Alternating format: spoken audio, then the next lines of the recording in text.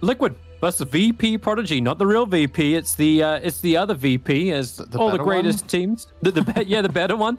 Thinking back over the last two or three years, he's had like some standout games, but he's just had this tendency of making Top. unforced errors, basically. He's just Oracle's been so having some stable. trouble. Yep, Ein is dead. Good for Insania's got him. You should have the upper hand minute 10 with a level 6 Centaur. Both your Ember and Quap are monsters minute 10.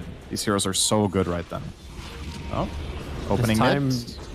Yeah, Epikid's looking to fight. The shackle is out over on Mickey, and uh, Liquid bring in three players. Epikid hasn't left here just yet. And with the arrival of FN under the cover of an invis rune, he just wants to quickly pick off Tiger. No defensive disruption available. The power shot helping with the extra tick. Ember Spirit, he didn't have to do that, but he did it anyway. Mickey can handle it with the physical spell damage. It's obviously really good against the Siege Creep, so didn't get too much out of this. Tiger's got the perfect trip stack. Three camps all at the same time. Bottom lane, More. Ember Spirit, he's in a lot of trouble.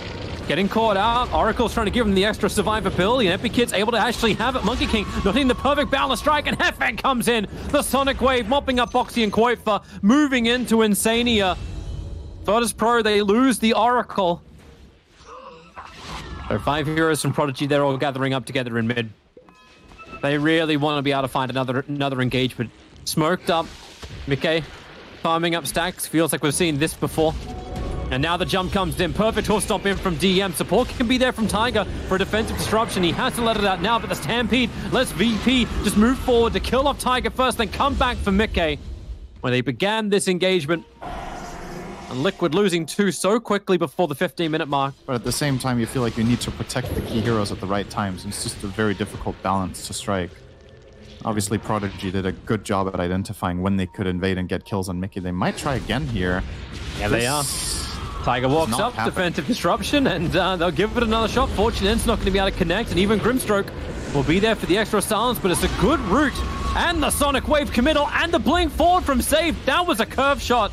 Remember when when it I said comes it to the wasn't shackle happening? shot It was Yeah. happening. Okay, inside this, mid lane. This is the moment, actually, for Liquid. This is their chance.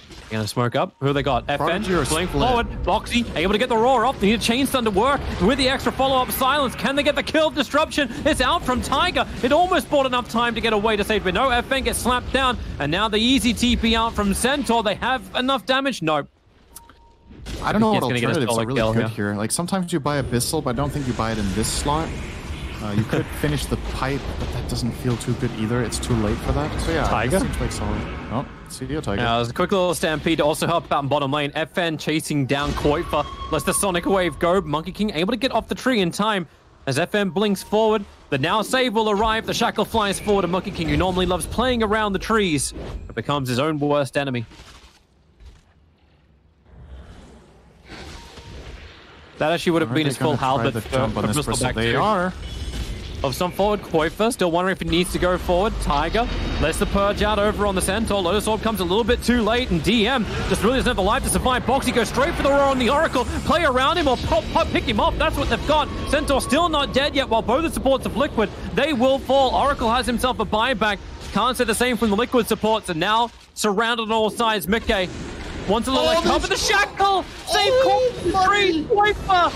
Oh, he wasn't hoping for that one. Now he'll come down to the Wukong's command. It's doing good work. Ember Spirit's losing a lot of life, but he hasn't ended up being shackled to the range creep that was still surviving. Save doing such great work with the Spirit Vessel down. qojqva's got no extra life steal.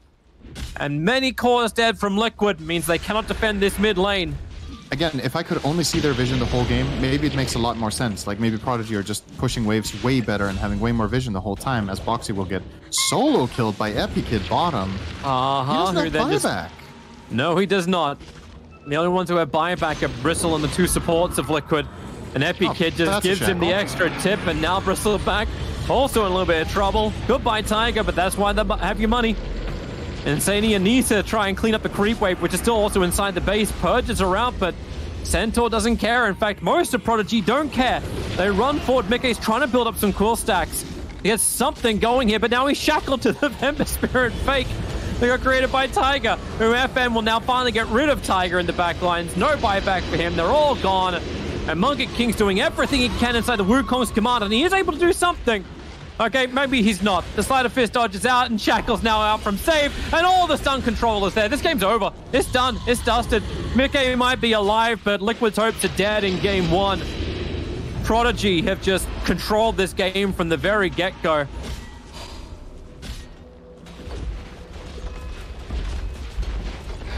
But Liquid Has want to he keep missed fighting. shackle, actually? Oh, he has. Oh, Oh, the tree no, shackle. he's GG Why shackling not? too. Style points. Get it in I've there. seen that. I've seen that with Mars, uh, putting putting down the ironwood tree and then spearing into it. That one's a little harder to claim. He's Oh, that's him plan. now. This is this is Mickey's plan. Wait until all the mana is gone. and then again, he just gets one charges, and they fight again. There's so many trees to work with. Roar. And now, Raw. Maybe Ember Spirit. Shackle no, again. not maybe Ember Spirit. The Shackle just connects too easily. GG. That is the best Windrunner support performance I've ever seen in a pro game. I am pretty confident in saying that. And I've seen quite a few. All right. Well, Carl said it needs to be a two to one kill ratio, and we'll see if Liquid can actually pull this off and take us to a two to one score overall. And a bit That'll of hurt. to the wound, but the wound isn't Did they wanna oh, go on top? I mean, he just did a zero Spirit's damage. flying to that. forward. Ina's in a lot of trouble. And Tiger's got the tick damage, even Epikid. All that regeneration that was never used because it wasn't there means that the Tiger actually gets a double kill in this off lane of Team Liquid. Their offlaners kind of feel like they need to function, like mobility items Um, or upgraded boots. Epikid, Oh, they're just stalking him for the moment. Sentry wards down everywhere. Stampede has to be useless. Not enough mana for a hoof stomp. Actually, he does have the one charge as Monkey King can't dodge it. And with the damage from Clinkz, well, then again, maybe from the Boundless Strike, it could be Clinkz who's the one to go down. FN came in so quick to be part of this fight, and the Centaur just continues to tick out. The Death Pulse is chasing him. And in fact, the heal from Oracle is now helping Centaur a little bit to get back. So now Razor can arrive, and we turn back the opposite direction. Static link it up, FN will get his TP out to safety, and Tiger has no extra control to really kill off the Oracle unless Oracle turns around and then just disarms the Razor. 95 stolen damage, hit what? but they also want him to scale. So now that this timing has been hit, where they have the Eul's Blade Mail as well as the Echo Saber and Monkey King, they want to fight. But going so mid. the dagger. Oh, Boundless Strike begins it all up. Oracle's got the extra control. Reaper Scythe, coin for just deleted.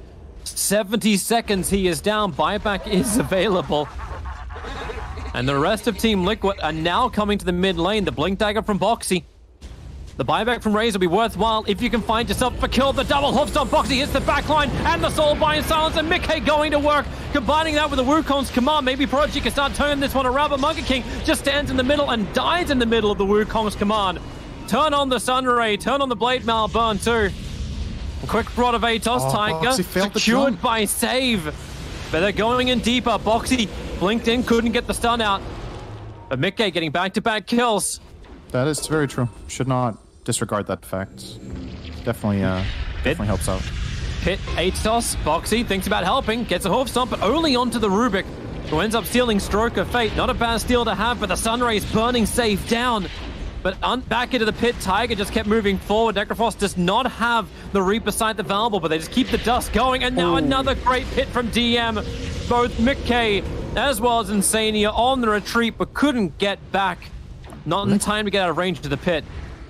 But they don't Yep. bring the Razor. But He's not there scythe. just yet. And now, Hoofstomp forward, Boxi gets the initial jump over on the Oracle. Tiger wants to help out too. Disarm. Oracle just trying to get himself further out of here. But the pit, the control, Centaur, he needs some extra help. But the Reaper Scythe will take him out for a minute. Tiger also on the retreat. It looks like, yep, Prodigy will have to move outside the Wukongs. I, I want to say today, but they, they've obviously had some good moves earlier this game. It's just this jump, Centaur jumping the Oracle in the middle of the forest with nobody around him to help get the kill. And now you may lose Quoip for anyway. Uh, he's got a Yule Scepter available. Starts with the Static Link of the Monkey King, forcing him away, but it's the Rod of Atos into the pit. He'll hit the deck, rooted once again. Mickey can at least pick off Ina. So what was really burnt from that? Like, uh, you lost Eye of the Storm on qojqva. Well, That's, that's That's kind of it. But now it. Prodigy push the mid lane. Necro, a pretty big target underneath the tower. They're focusing him down, but the false promise. Oracle didn't get stunned in time, so he gets it out on the Necro, who will also be Yulsed into the air. Does anyone else want to follow up on this? Necro is just Oh, staying. I don't care. FN now the Reaper's Scythe Razor dead for 90 seconds. No buyback is available. They'll clean up the burning army. he and Prodigy will keep the push going. It's the it's the access point you have to this fight. They're wrapping all the way behind, and Oracle is going to be there, but I'm seeing two couriers coming in. Oh. One's got the headdress and the top. I see three couriers coming in. The army, the squadron has arrived from Prodigy. Grimstroke quickly deleted, and now Razor isolated inside the Wukongs and the pit. He has to BKB. At least he's able to get that one off this time around as they bow the burning army inside the tree line. This might be okay. If Liquid can get a couple more kills, they got the Oracle now into the Supernova. Prodigy had to go in full retreat. FN cannot do it, however. Eul's brought down. Underlord stunned up. Boxi wants to get the chain stun out. Your buyback comes in from Oracle. So Fortune's End now is actually going to be there.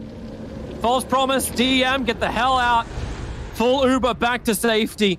They believe they can do this now that Deso's on the monkey. Yeah, this is not guaranteed. I think. Liquid's going to smoke again.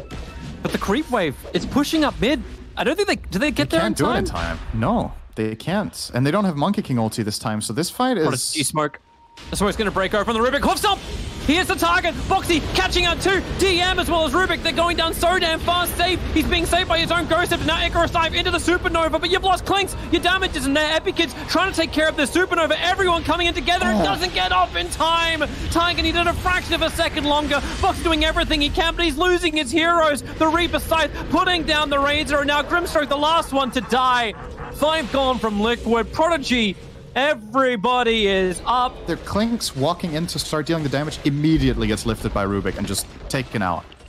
Clinkz is a, the majority of their damage, and he couldn't get it done. He's, if you, even if you get the jump, if Clinkz doesn't get a free angle, he is so counterable right now. It goes so fast. It's probably the reason he ventures outside of the base to begin with, is that he sees these two cores top, so he feels safe. Ink Swell. Jump in. Yep, they're just using the bait of the, of the beginning. Aegis, the immortal from the Necro Forest, battling inside the Wukong's command. A quick stampede, can't get them away. Centaur's already gone down. And now you really start to see Razor and all of Team Liquid just fall apart.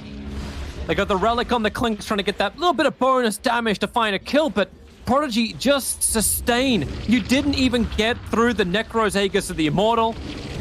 And now the jump forward, a perfect hit onto Mickey. He's got a couple of one charges to bring him back up again as FN dives in pretty damn deep. The Ghost Shroud's giving him protection. Tiger wants that same level of protection, but he doesn't have it.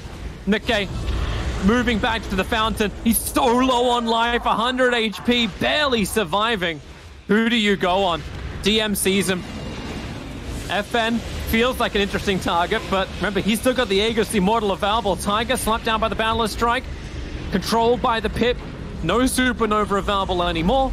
In fact, Rubik is taking his place as the Phoenix. They are just trashing Liquid today. This didn't even seem close in either game. Like Liquid had a little bit of a. They showed some signs of life for the first, I want to say, 15 minutes, and then they just consecutively lost every fight, every move. The map, the Rosh. The game. It's just over. It really is. They're trying to battle at the last points here, but it feels like Liquid are just in it for the thrills. That's GG. Prodigy. You know what the best the best thing about this lower bracket final is that the grand final should be a hell of a lot better.